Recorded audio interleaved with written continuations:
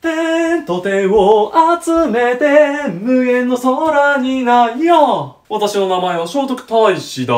今回は高知県編の美味しいご当地料理に塩昆布を振っていきたいと思います。さあ、なんで今日はね、聖徳太子じゃなくてフロイドなのか。こちらを用意しました。じゃーんウツボのたたきだ高知ではウツボを食べるそうなんですね。フロイドで食べるべきでしょと思いまして、フロイドで料理していきたいと思います。というのももうこれはこのままもうできてるんで、もうこいつに皿に盛り付けて終わりなんですけど、人生初めてのジェイドを食べます。ともぐいよーウツボは一見こわもてですが、一口食べると、あら、びっくり。淡白でありながらしっかり脂が乗っていて、叩き特有の香ばしさと相まって、ウツボの旨味をくっきり浮かび上がらせています。生臭さは全くと言っていいほどございません。ウツボってこんなに上品で旨味たっぷりだったの？とご納得いただけること間違いなし。ぜひ一度お試しください。アグリファーム高知さんっていうところから取り寄せていただきました。それじゃあ、レッツともぐい皮はウツボ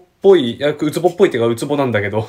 どんな味なんだろうね。お皿に盛り付けて、完成ジェイドのたたきでございます。匂いはですね、全然臭くない。あの、淡白な白身の匂いする。ピアスつけるの忘れた。これいい匂いする、ほんと。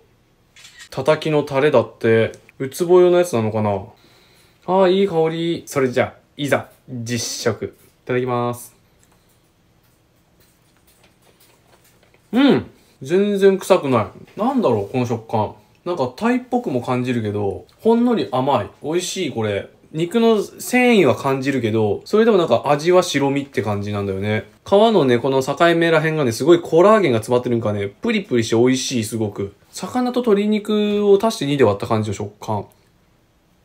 それじゃあお待たせしました。塩昆布でございますわよ。海の幸に海の幸をかけりゃうまいに決まってるよ、そりゃ。ね。塩昆布をつけて。じゃあそのまま食べてみようか。うんうん。美味しいけど、ウツボの主張が激しい。ジェイドの主張が激しいなこれは、これで食った方が美味しい。うん。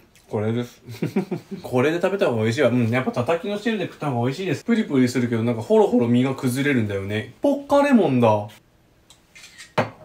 いただきます。うん、うまい。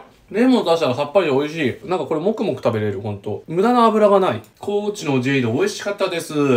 はい、奥田。さーて、来週の都道府県は？いくぞ、せーの、せい。